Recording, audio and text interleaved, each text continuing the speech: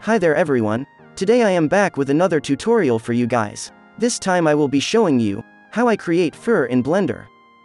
With this tutorial, you will be able to create realistic fur for any of your model.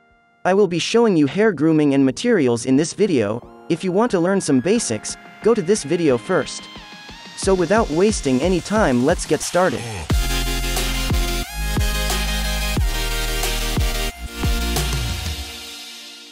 So this is our model, very cute right?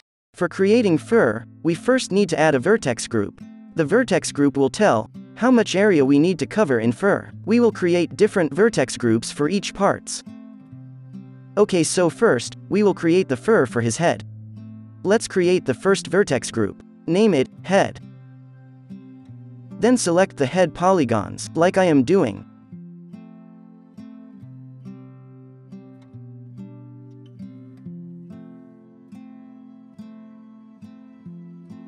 You can select an edge loop and then hide it with H key, and then select some polygons and then hit L to select the whole part. And then, hide those as well, and unhide everything to see the selection. You can see some inner mouth vertices were also selected, I don't need those, as because fur doesn't grow there, so deselect those. Remove the subdivision modifier to see the vertices better.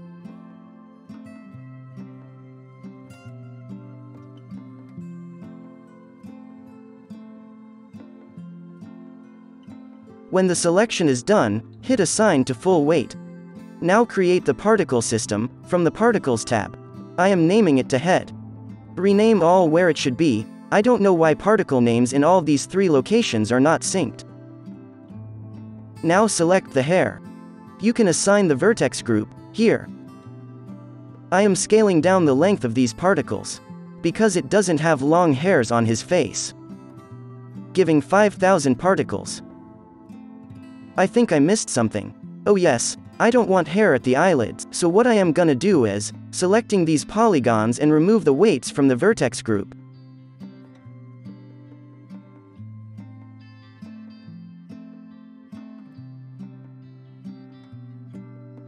I think I need to remove one more outer edge loop. Remove that as well from the vertex group.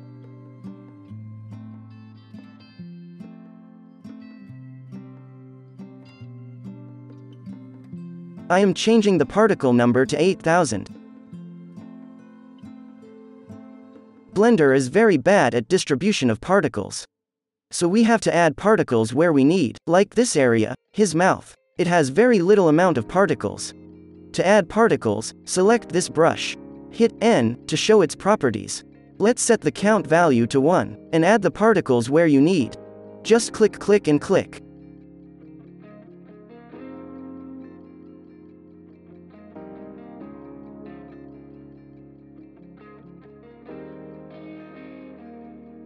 Now it's okay, let's start grooming. A tip here, the flow is very important in order to get realistic fur. See references of cats and rabbits to know the flow of hair. I think, I was looking at cats, while grooming his fur.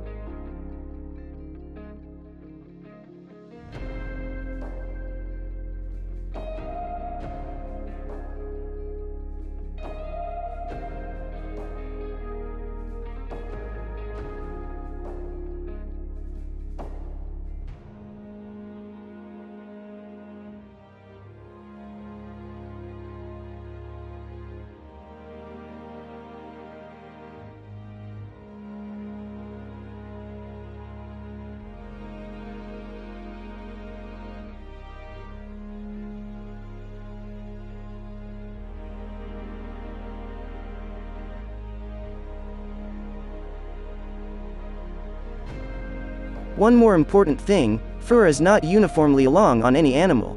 There always have variations. Like on the mid of his face, it will have short hairs, and the hairs which are further will be longer. So, in order to shrink or grow the hair, use this brush. Setting the option to shrink, and start shrinking the particles. Again, you can see the references for this as well. I am shrinking the middle part hairs only.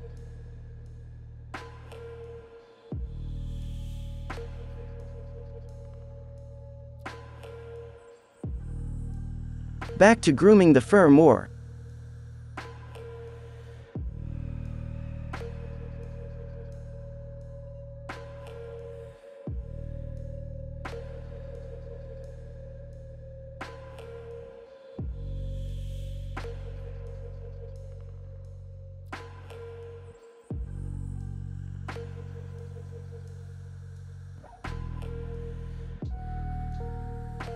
So, it is it for the grooming, we will adjust later when we need. Now let's adjust some particle settings. If you are thinking that the particles are very few, these are just the guide particles, we need to add the children particles to make the fur coat. So select the interpolated children mode. Let's increase the display amount. I think 100 amount will be good for the final render. For the smoothness, check this B-spline. I want to see the fur in render mode, so I am setting up the hair shape settings. Lowering the diameter root.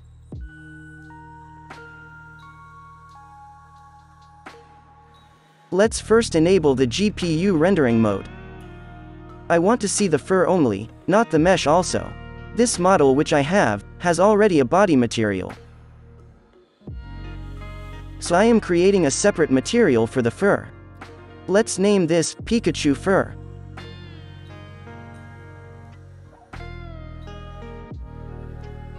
Importing the same color map for the fur for now.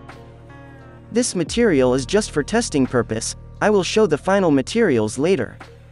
And now, what I am going to do is, detach every node in the Pikachu body material. So that it will appear black, and I will able to see the fur better. Oh, I forgot to assign the new material to the hair particle. Go to the particle tab, and under the render option, you will find something called material. Assign the new material here. Now you will able to see that fur. Hmm, it's not looking too good to me. No worries, we will adjust it. First of all, lower the display amount, so that it doesn't lag when we groom it. I think I had shrink these particles too much. So let's regrow back them.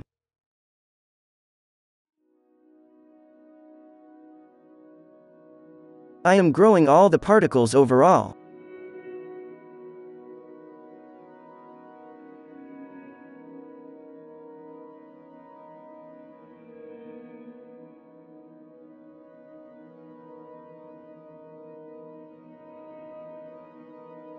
Also the grooming of his lower mouth is not good as well. The flow should be straight.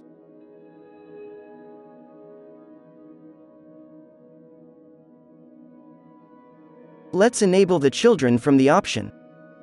Oh my god it's lagging too much. Better to uncheck that.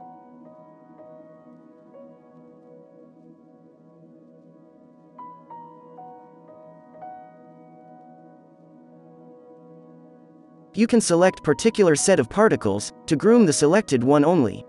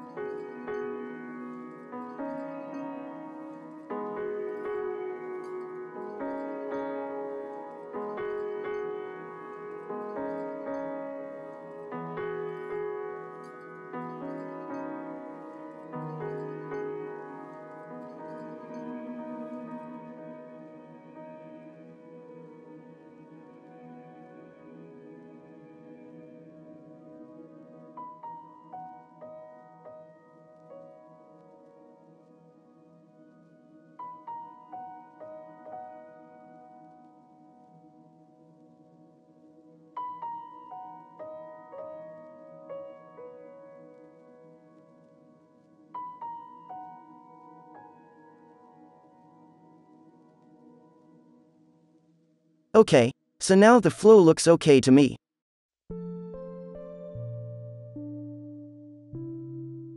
Oh, There's a patch here. Maybe it is because of the low poly mesh.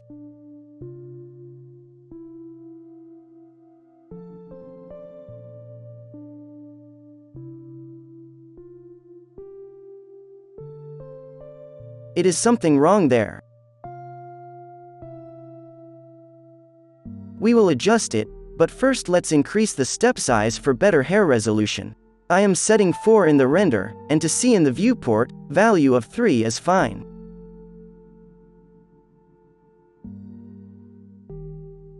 Readjusting the settings of hair shape for more thinner hairs.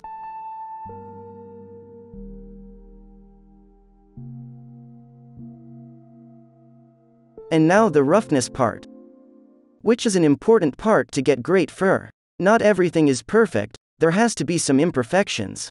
So our Pikachu is not combing his fur daily, which makes his fur looks very clean and uniform. There has to be some roughness. So under roughness settings, I am giving some amount of random. Oh, this is too rough. Pikachu is not clumsy too. Lower the amount. Maybe very little amount will help us.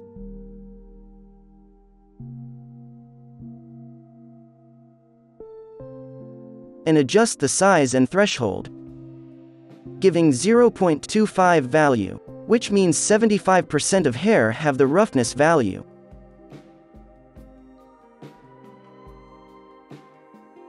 And now let's fix the patch issue we are facing.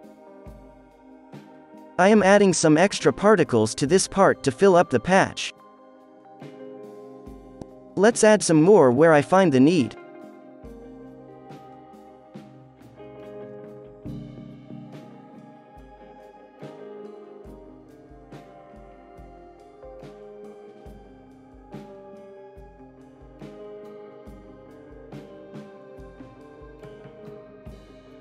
Select all the new particles and groom them.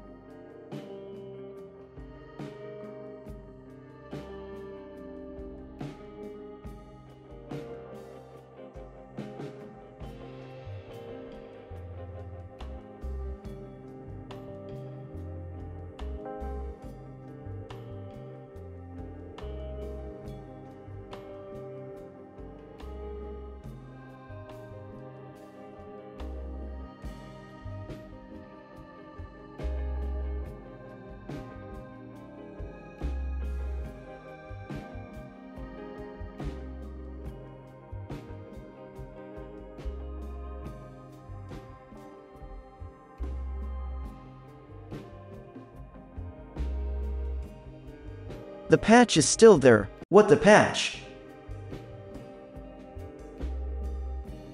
Oh, I figured that out. It was because some particles are groomed in the opposite direction, so they are creating a hair partition. No worries, let's groom them all in the same direction.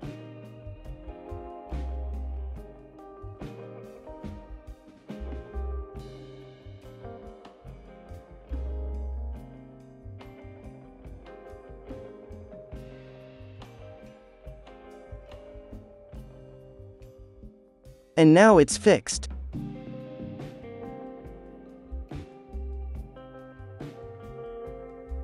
Some small tweakings here and there.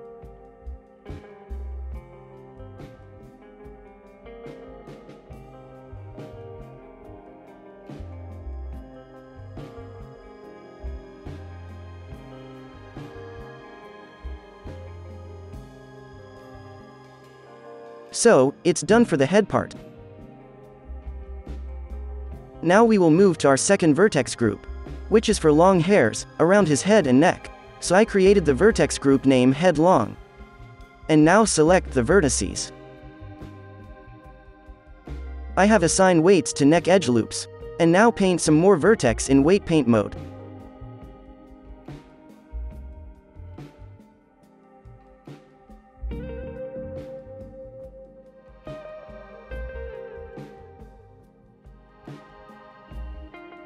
You can blur the selection with this blur brush.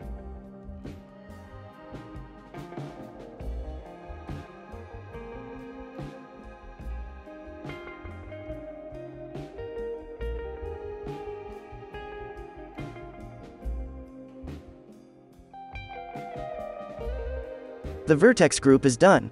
Now I will move to the particle system. Add a particle system with the same name. From here, I will show all the hair particles in grooming quickly. Because these are very repetitive process. Same, select the hair, assign the vertex group and lower the length. I will use these particle system with clumping values, so I just quickly enable interpolated, and set the clump to 1, to see how many particles do I need for good clumps. I think 1500 is good. Enable the B-spline and steps to 4, and also in the viewport.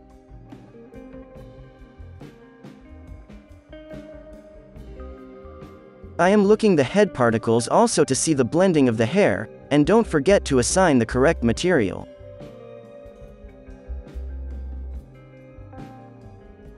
Now start the grooming. Again lagging too much, better to hide the head particles. These particles should be very fluffy and soft hair.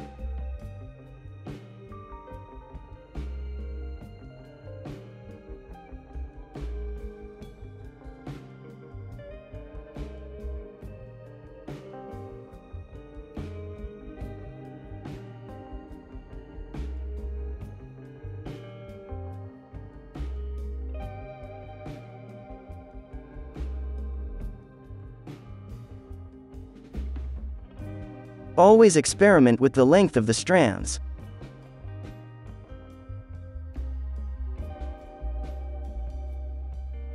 Changing the distance value to maintain a good gap between the particles and the mesh.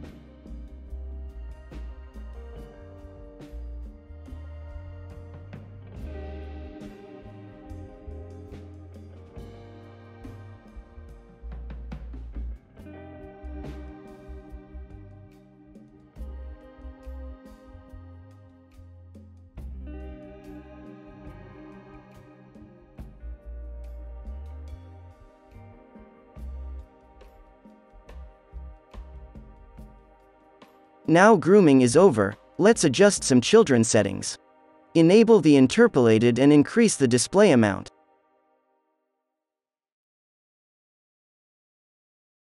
See in render view how many particles do you need for your final render. Changing the diameter under the hair shape for thinner hair.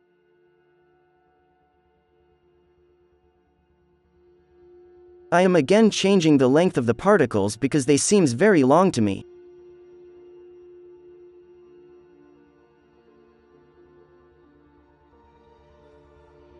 My best tip for you guys is to just relax and take your time to improve your groom, never satisfy with the result, always tweak it for better.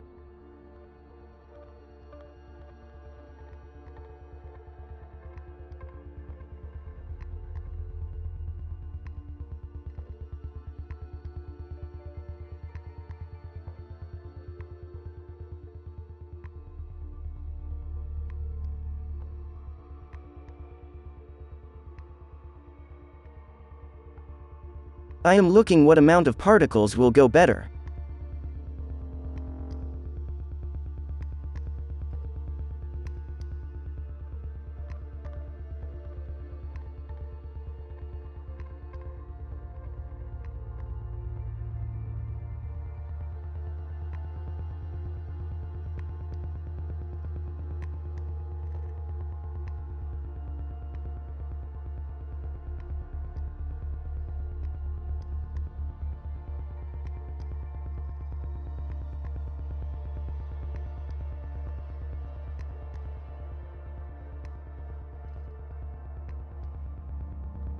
Okay, I am not much satisfied with this result but let's just adjust some clumping and roughness settings.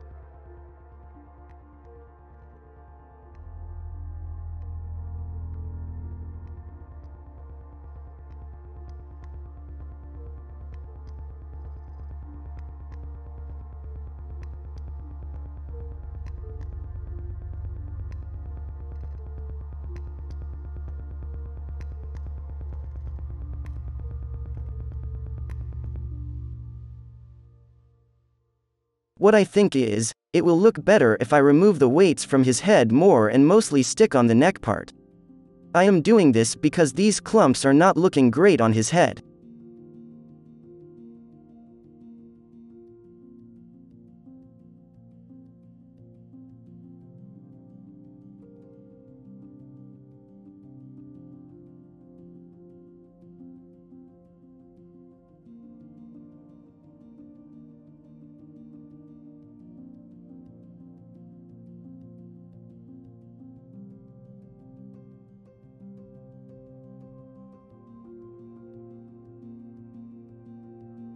I had used Alt plus B to isolate this part.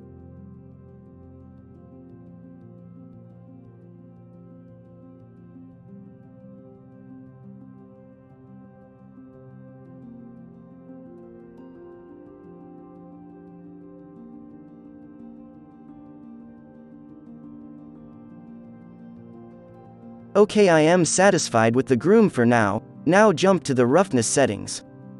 Experiment with the settings and see what comes best.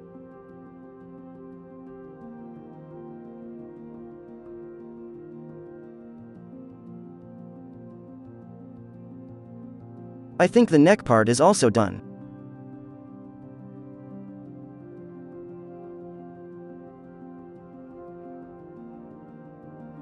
Let's jump to the third vertex group, which is for the front body.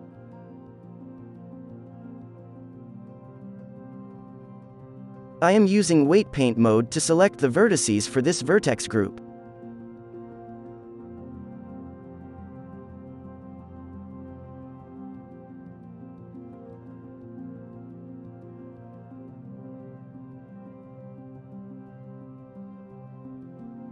Now same as before, add the particle system, set it to hair and assign the vertex group.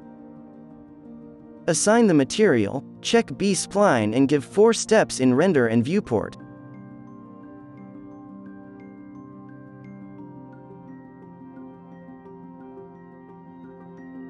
Lowering the length, give good amount of particles, and enable interpolated and clumping to 1.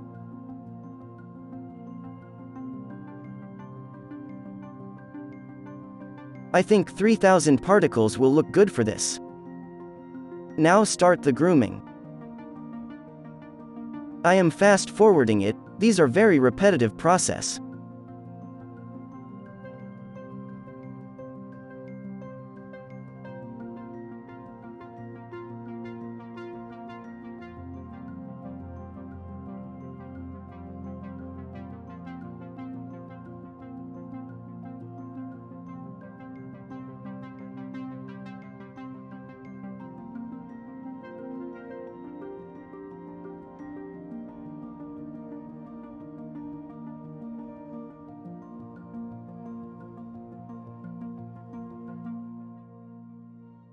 After grooming, change the hair shape settings, and then adjust the children's settings like clumping and roughness. And see what suits the best.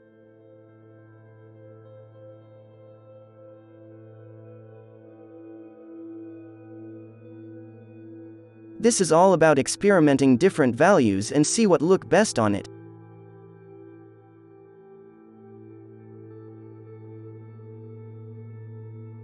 After some tweakings and adjustments, this part is done, let's move to another. This time to add the vertex group for the arms. Select the arms only, I am not selecting the hands in this because on those I will not use the clumping values. I am time-lapsing this part.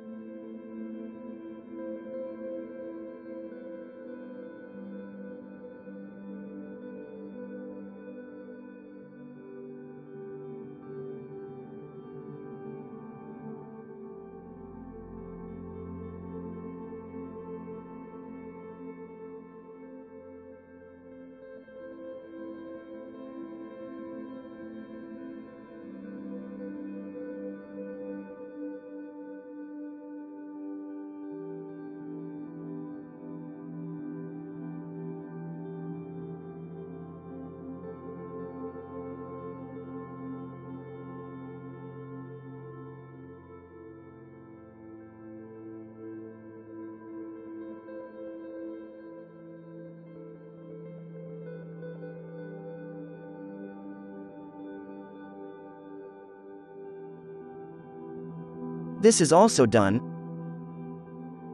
Let's make the vertex group for the hands. These particles should have short hair, and should not have any clumping values.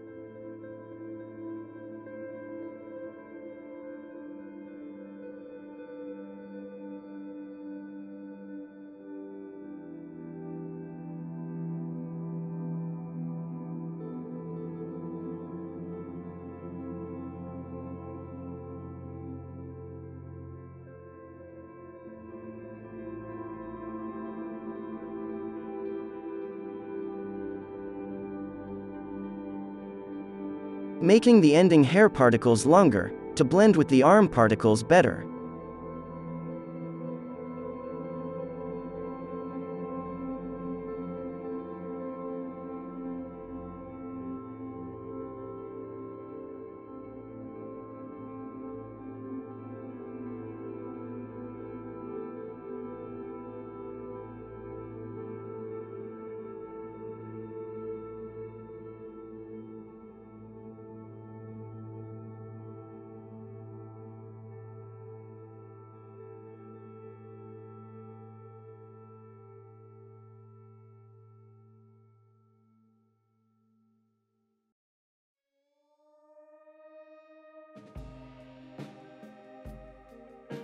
After grooming adjust the children settings as before.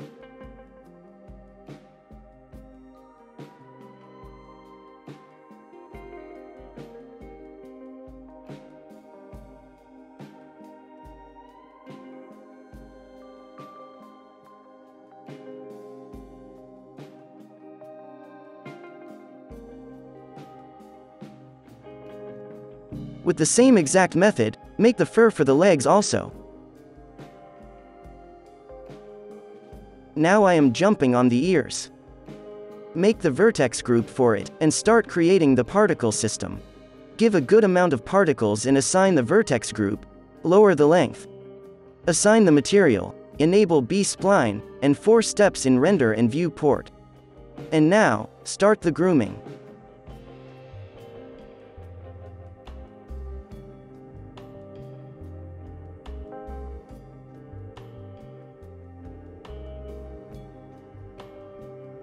For this I had looked the references of the rabbits.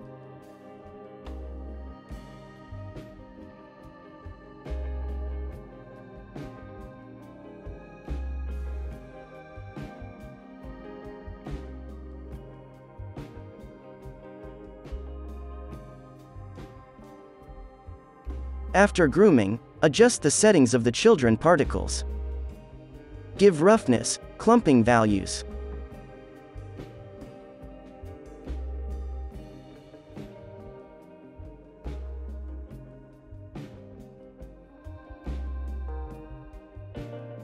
The head, the ears, front body, hand and legs are done.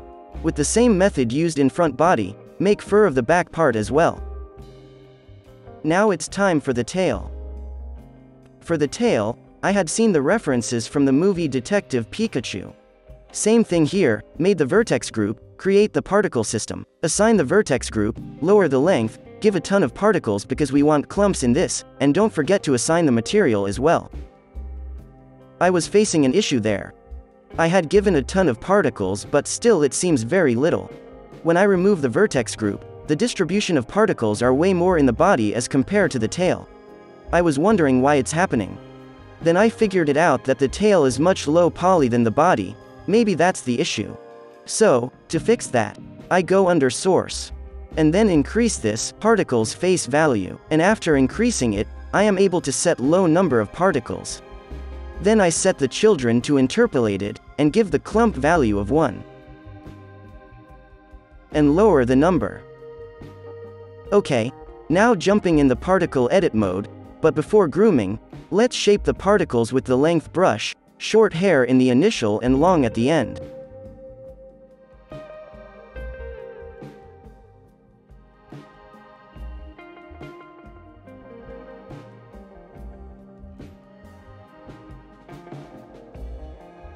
What I have done in the tail is, select the upper half of the particles and groom the flow in the upper direction, and then selecting the lower half and groom them in the flow of lower direction.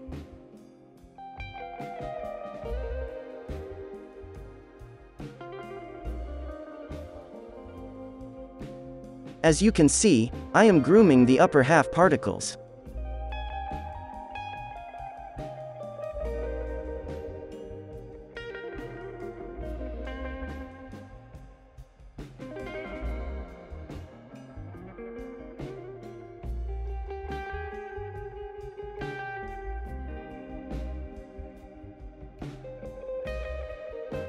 And then groom the lower half.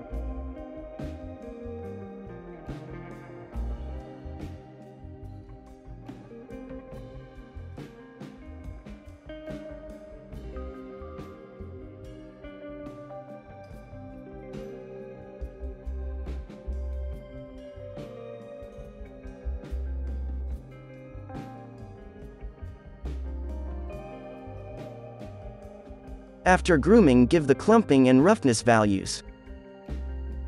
Our grooming stuff is done, now I will move to the material part, but first, I want to show the color maps which I am using. So here's as you can see, the left one is the color map for the body which had the nose and eyelid color as well, and the other side we have the color map for the fur only, which doesn't have any nose and eyelid color information. Now create the fur material.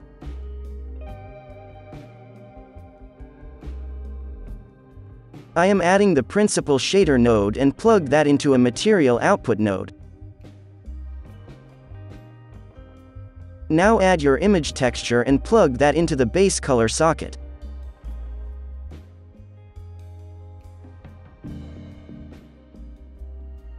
Here I am adding a hair info node. Let me share you why I am adding this. It has an intercept option, which allow me to add two color for the bottom and tip of a hair strand. So what I am going to do is, add a mix node, plug the intercept to the factor of mix node, and plug the color map to the upper socket, and add a curves adjustment node, bump the curve a little and plug that in the lower socket. Now adjust some settings in the principled node. Make roughness to 0.65. Clear coat roughness to 1, and clear coat to 6. Now I want to add some amount of translucency to the material. So add a translucent shader. Plug the color information. Add an Add Shader node. Plug both the translucent shader and the principled shader to it. And plug the output of the Add Shader to the material output node. You can see we are getting red-orange color from translucency. But we need just a little of it. So add a mix shader. Plug the principled shader in the lower socket and add shader in the upper socket. And give the factor amount of 0.9. This way we will get some amount of translucency. Now we have to add one more thing. I want some of his hair have white color.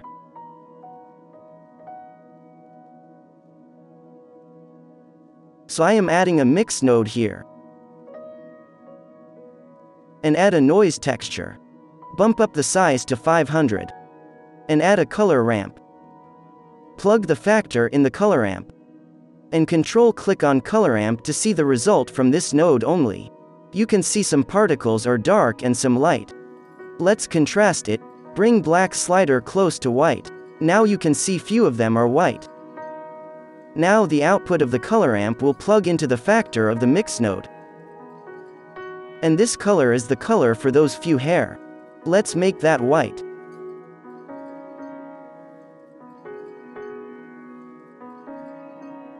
Now that's done. So this is it for now, go and try this in your own models, maybe you will get more good results than me. One more thing, the character creation course of this model is releasing soon, I will let you know when the editing is done.